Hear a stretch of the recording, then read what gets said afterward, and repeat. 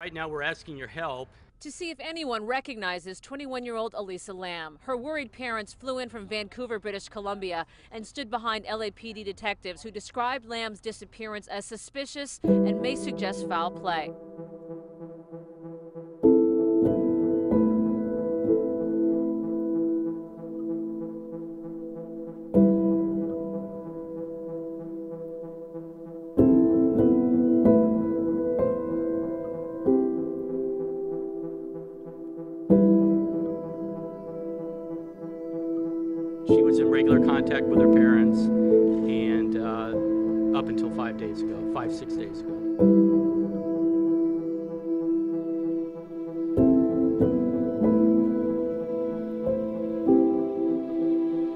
Last people to see her were the uh, staff at the hotel, and uh, and that's it.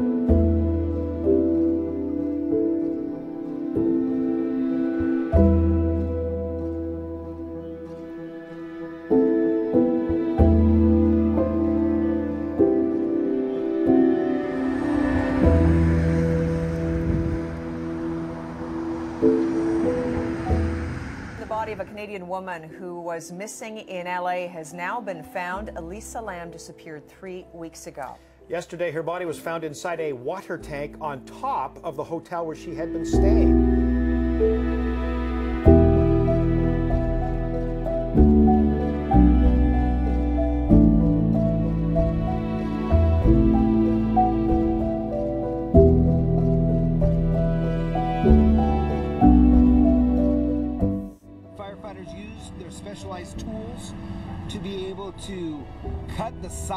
Tank, remove the metal so they could as carefully remove the body for the coroner's office to conduct uh, their investigation.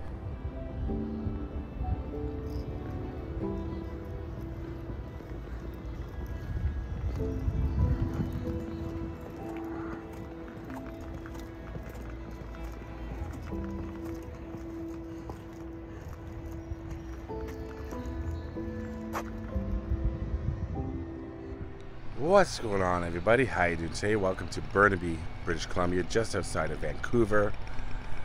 I was here in December of 2020. I spent about a month here, filmed countless videos, and on my list was visiting the gravesite of Elisa Lam. And unfortunately, by the time I started driving uh, east to go to my next uh, province, which is Alberta, I realized I had forgotten to do Elisa Lam. She was at the top of my list, but sometimes I just get caught up in other videos. And I'm back here, and I'm finally able to visit uh, Elisa's grave. And this is a very important video for me to make because I've been wanting to make it for over two years.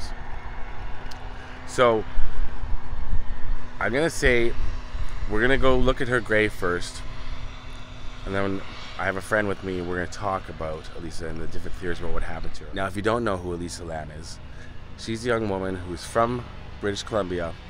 She traveled to California by herself. She was in San Diego first, then went to Los Angeles and checked into the infamous Cecil Hotel. There, she disappeared. She was reported missing by her family on January 31st of 2013. And then on February 19th of 2013, her body was found in the water tower above the Cecil Hotel. There are so many theories about what happened to her, how she got in that water tower, what happened to Elisa Lam. And it's a story that's captivated millions of people. I'm going to tell you right now, I have done a ton of research into the story. I've never watched, I don't watch any other documentaries on a subject I'm going to do.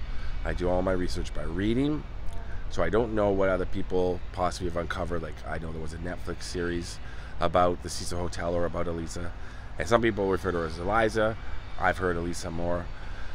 So I'm just going to talk about what I think happened to her, and as always, pay tribute to the to the victim because we forget sometimes that she was an actual living, breathing person, just like you and I, with hopes, dreams, and I, when it comes to a sensational true crime, there's you know people forget sometimes i think that we're dealing with a real human being and, and a very sad and tragic ending so i'm going to try to do it with the most respect i can That's usually how I treat, uh, or is how I treat any victim I visit, or any grave I go to. And she's buried right over here. There's a nice Salman Rushdie quote on her grave, and uh, I'm going to show you it right now. Elisa was born on April 30th, 1991. Her family immigrated to Canada where they opened a restaurant here in Burnaby, British Columbia. Elisa was a student at University Hill Secondary and then the University of British Columbia.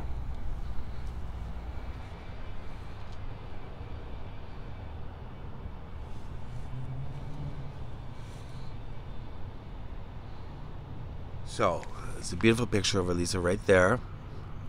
Elisa Lam, 1991 to 2013. I'm going to read you what it says here. As I said, it's a quote from Salman Rushdie, the author. Our lives disconnect and reconnect. We move on, and later we may again touch one another, again bounce away. This is the, the felt shape of a human life, neither simply linear nor wholly disjunct, disjunctive nor endlessly bifurcating, but rather this bouncy castle sequence of bumpings into and tumblings apart. Salman Rushdie. And you can see it's pretty clean, and that's because my friend who was with me just cleaned it off just before we began. Very nice. And I brought a rock to leave for Elisa right here. Right there. I'm going to tell you a little bit more about what what the facts are so far. On January 26, 2013, Lam checked into the Cecil Hotel, also known as Stay on Main, which is located in downtown Los Angeles near Skid Row. Early in her stay, she was relocated from a shared room to a private room due to odd behavior. She was last seen in the hotel on January 31st. Her parents, who'd been in daily contact with her, quickly reported her missing. Her belongings, including a wallet, ID, and laptop, had been left in her room. An LAPD bulletin about Lam's disappearance mentioned that she spoke English and Cantonese, used public transportation, possibly had mild depression, and was ultimately headed to Santa Cruz, California. The police issued an appeal for assistance from the public and released a video that showed Lam wearing a red hoodie inside an elevator at the hotel. In the footage, she presses numerous buttons, looks out of the elevator, moves back into a corner, steps outside the elevator, waves her hands about, the video went viral and sparked widespread interest in and speculation about the case. One theory arose that Lam was playing what is sometimes called the Korean elevator game, in which pressing elevator buttons in a specific pattern supposedly open a portal to another dimension. While Elisa was still missing, guests at the hotel began to complain about low water pressure. On February 19, 2013, a maintenance worker peered into one of the four four foot by eight foot water tanks on the roof of the hotel and spotted a dead body that turned out to be Elisa. The worker later said in court documents, I noticed the hatch to the main water tank was open and looked inside and saw an Asian woman lying face up in the water, approximately 12 inches from the top of the tank. The roof had previously been searched with the assistance of a police dog. However, no one had checked inside the water tanks. The investigation into Lam's death continued following the discovery of her body. Entry to the roof was supposed to be restricted to hotel employees. An interior staircase to the roof had a locked door equipped with an alarm, said to be working, that should have alerted staff if it had been opened. Three fire escapes also provided access to the roof. Following further inquiry, an autopsy and toxicology tests, the coroner issued a ruling that Lam had accidentally drowned. There were no indications of physical trauma on her body, and no drugs that might have contributed to her death were found in her system. The coroner's report mentioned Lam's bipolar disorder as a significant condition that played a role in her death. The lead investigator from the case gave a deposition. My opinion is that she fell off her medication, and in her state, she happened to find a way onto the roof, got into the tank of water. Another detective noted, My partner and I tried to figure out how somebody could have put her in there, and it's difficult for someone to have been able to do that and not leave prints, not leave DNA, or anything like that. So she climbed in on her own. The case may be closed, but a reconstruction of how Lam died reveals some confounding circumstances. For Lam to have entered the water tank on her own, she would have needed to make her way to the hotel roof undetected, either through a locked alarm door or via a fire escape in the side of the building. Now, about that alarm door, I think my personally, I think possibly a staff member accidentally left it unlocked and they never admitted to it because they did not want to be charged with any negligence. But next, she would have clambered onto the water tank platform and climbed a 10 foot ladder on the side of the tank. She then would have had to open a heavy water tank lid before getting inside. And at some point, Lam, presumably undressed when she was located, her body was naked, while her clothes were in the tank with her. The Cecil Hotel, which had rebranded itself as Stay on Main prior to Lam's stay, has a macabre history that may have contributed to speculation about Lam's death. The, ho- the hotel had been the scene of multiple murders and suicides, dating nearly as far back as its first days of operation in 1927. In the 1980s, serial killer Rich Ramirez, known as the Night Stalker, stayed at the hotel. Jack Unterweger, an Austrian serial killer, was a guest in 1991. So, here we are at the grave, right here. I believe this is called the Dale section. It was very difficult to find. She's not, she's on Find a Grave, but there's no pin. So I asked at the office, they were very helpful. And now, I'm going to bring in a friend of mine who's with me today. This is Heather. Hi, everyone. Heather and I have known each other, I think, our entire lives almost. Right? My entire life. Your entire life. I've known you since you were a baby. yes. Yeah, I think probably I was five or six and you were two or three because your brother and I were close friends and you were part of the package. Yeah. You were part of the package, you were part of the deal. So Heather's an old friend of mine, one of my closest friends. She lives here in uh, British Columbia and we're having a day out and we want to stop here and she knows a lot about the case as well. So let's get the camera not too close to my face. I have my beliefs about what happened and I said to Heather, let's talk about the case when we get in the car a little bit, but mostly we're to, everything we talk about is just right now between us and you. But we have very different opinions on what happened to Elisa Lam. Don't I, I was shocked when I heard what you had to say. Now, what I believe, and Heather's going to talk in a moment, don't worry. Um, I believe it's a simple case of a young girl who was uh, had bipolar disorder and she was off her meds. She had a history of seeing hallucinations and she climbed up the water tower, got in for whatever reason. That reason we'll never know. And maybe was near the water tower, the water was high in the water tower and possibly swimming around. But then as people in the building used the water, like for drinking water, baths, showers, the level went down. She could no longer get out. There's, you know, she's going lower, and that rim where she could climb out of is far too high. I think it's, I think it's as simple as that, and that's what the police have surmised. I believe that's their official ruling. But there's so many other opinions. That she was murdered. That um, she, well, Heather, what It do you think? It was ghosts. It was ghosts. So you think so? The famous elevator footage of her looking out, looking and pressing the buttons. You Talking to somebody that wasn't there, that Right. was a ghost. right? So you and you honestly do believe that, I believe that there's supernatural things afoot. right? Now, I mean, people watch my channel. They know I'm, a, I'm quite a skeptic when it comes to things like that. But I'm not going to discount anyone's opinion. I'm kind of not on that side. But what makes you what makes you think that? Well, I think the fact that she had no drugs in her system is interesting. The fact that, she, yes, she's bipolar, but she's not schizophrenic. And to my knowledge, bipolar, even in a manic episode, I am not a doctor, hmm.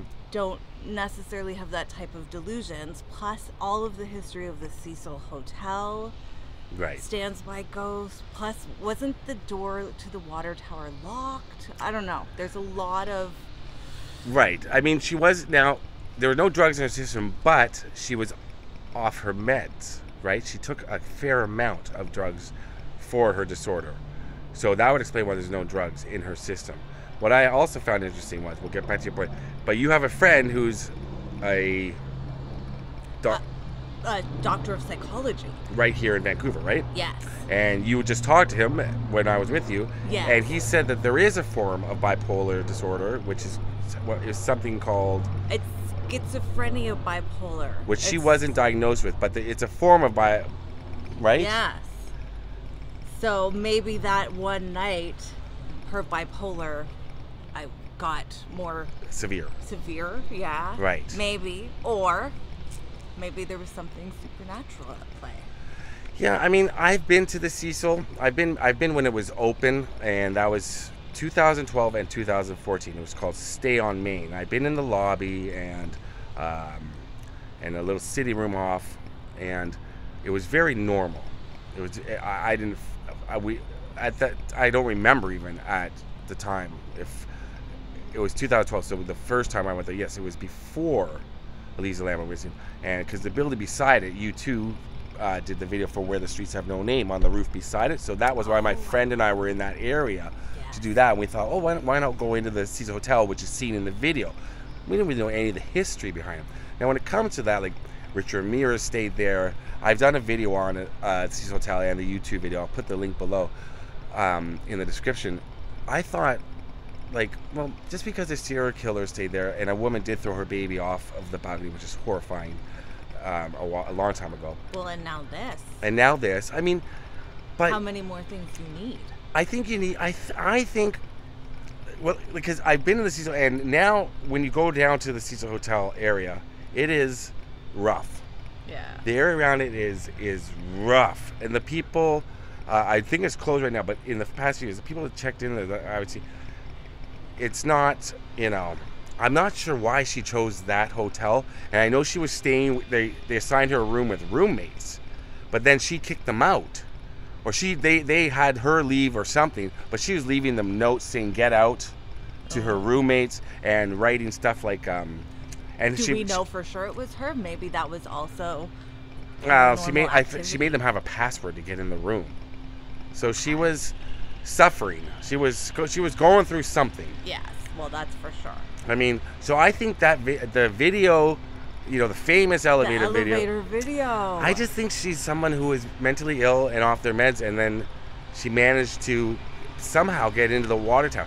Now, why was she?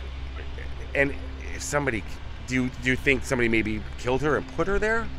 Do you think that's a possibility? I think that sometimes ghosts come in the form of delusions, and maybe both things are true. Maybe she was off her meds, but that allowed her to connect to Wow. the paranormal universe. Right. And then that's what happened. And our reason and our excuse for paranormal activity is, you know, mental health issues. Right.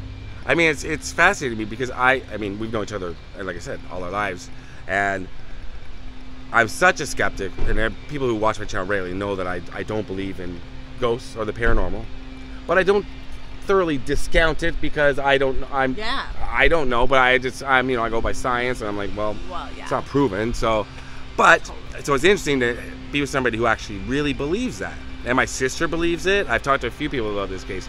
So a lot of people do believe it's something paranormal. Now, but there is that other side that she was simply, not simply, but sadly murdered by somebody put in the water tower. Seems hard. I don't believe the murder thing. I- It seems hard to, to carry a body up the ladder into the water, to, and I and there was and no one knows that there was no DNA found of anybody else. Does she have enemies at all? Yeah. That we know of. And she was so young. Yeah, she was. Yeah, how I mean, So was she? She was nine and seven, 22 years old, roughly. So I mean, yeah, that's I don't know. It's crazy. it's a really sad. Yeah. But so many people focus on the Cecil Hotel as this, you know, I mean, well, it is dangerous, but so many people focus on the fact of the serial killer uh, thing and that it's, it's a hub for paranormal activity. To me, it's just a dilapidated old hotel in a really sketchy part of Los Angeles, and it's an easy, it's easy to look at and go, Richard Ramirez stayed there, the Night Stalker. A woman did this to her baby there, haunted. Yeah, but It's easy to say that.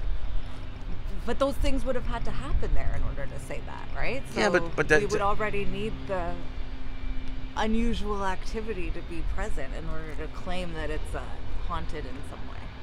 I don't and know. I would think haunted house would, would be the same right. thing. Would you sta would you stay in the Cecil? No. Would, okay. What if you what what if you were If it was in a nice area, like her area. Right, because I, Like, would yeah, would because feel it, unsafe. That's why you would I would stay feel there. I would feel unsafe staying there only because of the area and because it's, it's I don't know what the management would be like. You know, it's closed now. It's not open. if it was like in the middle of I don't know, like the Banff Springs Hotel, but haunted. Yeah. A hundred percent. So you'd stay in a haunted hotel if it was Yes. a, Yeah, me too. I would have no problem. I'd stay overnight. I would I've said to people I would sleep overnight in a cemetery if I could on a video just to do it because I, I'm not afraid of cemeteries, but people No, a lot of people are. The spirits are friends. hope Just so. because I believe in them doesn't mean that I don't. You know, I think they're scary. I don't think Right. they're scary. right. Although So in this instance, it's a little. so you think you think there was paranormal activity involved with her death, Yes. but you're also open to the idea that maybe it was just a tragic accident. I think it's the chances are heavily weighted that you're more right than I am, but I still want to think that it's a ghost story. Yeah, I wasn't trying to get you to say that was more right, but maybe a little bit. Maybe, maybe I was trying to lead, lead you to that side. law, I feel like you might be It just victorious I'm only- on a debate stage, but Well, you like I think I'm right. you know me. I'm always been the more logic, not more lo- I, I deal with more. I'm always like the e- simplest answer, the easiest answer. That's usually the correct answer. But nobody, no, a lot of people don't want to ever believe that. Like when it comes to celebrity death, I've done so many videos, and nobody wants to believe a celebrity died the way they did. There's always conspiracy theories, and when somebody becomes famous after death Well, that in a true crime, video. the elevator video is pretty It's really crazy. compelling. It's very compelling. It's it's a silent video, and it's I mean you can watch that I mean, there's over and definitely over somebody there in her mind. in her mind, right? But was so whether that's a real somebody or not real somebody, but she's Right. definitely talking to somebody, yeah. Uh, reacting to somebody. it's sad. I mean, uh, I I don't know if I mentioned this in uh, already. No, I don't think I did. Like I mean, the way she was found was because people started complaining about the water. They were drinking it, and it was coming out like off color. So people started complaining about the water. So a maintenance worker went up into the water tower and found her body, and that's that's brutal for everybody involved, for Elisa, for the people in the hotel at the time, and for the maintenance worker to find her. Everybody. That's just, oh man. And then for her family to find out that's the way she uh, passed away. I mean, they, they were fran- they flew to Los Angeles looking for her. They were frantic. So we forget, right? We were talking about this on drive. We forget that these people that we, oh, I, I do stories on, and other people do. They're a real person. Yeah. You know, it's she's not the girl. I'm probably gonna call this video something like the girl from the Cecil Hotel, so people know who I'm talking about. But I mean, she's not just the girl from the water tower. The girl, she had hopes, dreams, aspirations, like all of us. She's somebody's daughter. She's somebody. she's she's somebody's daughter, right? And yeah, well, She's in a beautiful resting place. I'll say that much. right? We, we drove around for a while looking before we had to uh, before I had to ask. And we were saying like it's one of the more beautiful cemeteries. I mean these views. That's that's Burnaby that way, and that's Vancouver that way. Correct? You're from there. Yes. I believe so. That's those are the North Shore Mountains. Okay, so that's Vancouver that way, and that's Burnaby that way. Beautiful. I've only been here twice before, and both times were winter. It's completely different. Yeah. Like I mean, with Gray with the sun. Yeah, it's gray, dreary. This is a beautiful day. All right, Heather. Boom. Boom. Thanks to everybody watching. Um, write in the Thanks, comments haters. below what you think. Um, Team don't Heather. team Team Scott, and be nice because this we're talking about a real person. So be nice in the comments about about Elisa and what you think happened to her. I know you will be. I love you all. Heather, thank you. Thank you. Peace. Out. This is wild. we were just just finished the video, but this was behind us the whole time. I know I normally don't film other people's graves, but I thought you'd like to see if you saw it in the background. Love this grave. That's beautiful. It's a whole garden, Yeah. and there's artwork all in it. Oh wow. Oh yeah. And I felt like I should take that bottle of water away, but I also feel like it's there for a reason, Oh, you think there's something? There's a reason why the water bottle's there? Yeah. right? Because it's everything. It doesn't make any sense. There's so there's no there's no garbage anywhere. But yeah. And I want to say what. So yeah, I guess we should leave it because I don't know why it's there. It could be something. There could be water in there that's from a place that they wanted, that she loved. A lake or something. Yeah, could be. Yeah, probably. Yeah, yeah, maybe. But I want to point out this over here. We'll walk this way. Because on my Sage Stallone video that I did, that I put up just recently, I don't think a lot of people watched to the end because there was a overturned flower um, pot that I never, that you don't see me on camera trying to fix. And here's one here that I'm going to be able to fix. I can see on the Sage Stallone video, what I was trying to say when I put the text at the bottom was the bottom of it was so disintegrated and more and wet. Every time I tried to place it, like it was deformed almost, I it would just keep toppling over. Like it didn't matter how many times I tried to place it, it just would started falling over. So I thought I would explain that in case, because I got a lot of questions. Why didn't you fix it? Why didn't you fix it? And, and that was why I couldn't. I wasn't able to. But anytime I see something like this, I'm going to try to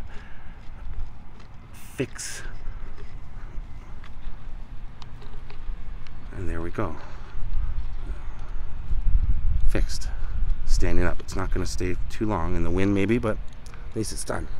All right. Peace out.